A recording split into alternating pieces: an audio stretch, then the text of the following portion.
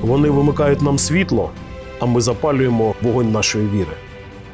Вони намагаються занурити нас у темряву, але наші очі палають вогнем. Навіть у пітьмі ми бачимо справжнє обличчя російського агресора. Та сяйво наших сердець здолає морок. Нехай у 2023 році у нашому житті світло буде завжди і всюди.